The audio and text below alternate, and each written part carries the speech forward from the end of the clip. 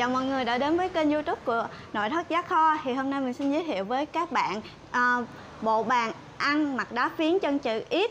Thì uh, bàn ăn mặt đá phiến chân chữ, chữ X mặt Chúng ta có thể thấy mặt bàn rất là trơn bóng và láng mịn. Thì uh, bàn được gia công rất là tỉ mỉ áp dụng công nghệ mới để chống ố, chống chì xước và không thấm nước và đặc biệt an toàn cho người sử dụng.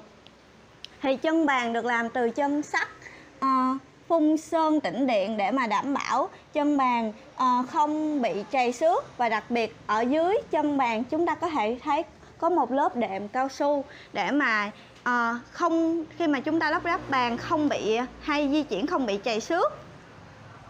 Thì ờ, chúng ta để ý một tí thì chân bàn được gia công rất là tỉ mỉ.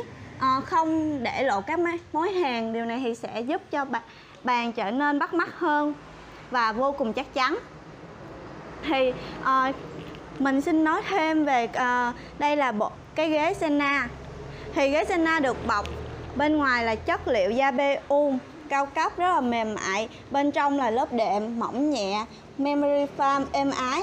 Thì uh, ghế chân ghế được làm từ chân sắt sơn tĩnh điện đảm bảo uh, chắc chắn cho cho người sử dụng thì hiện tại bộ bàn ăn mặt đá phiến chân chữ X đang có rất là đa dạng kích thước và màu sắc.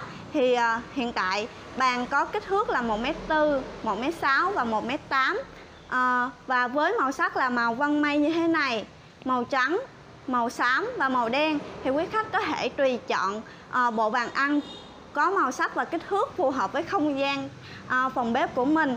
Thì à, để biết thêm về thông tin chi tiết cũng như là các chương trình khuyến mãi thì quý khách có thể lên website www nội thất giá kho com hoặc à, mua hàng trực tiếp tại các trang thương mại điện tử để mà được nhận ưu đãi cũng như chương trình khuyến mãi của nội thất giá kho. Thì à, phần giới thiệu của mình đến đây là hết. Xin hẹn gặp các bạn ở video kế tiếp nhé. Xin chào.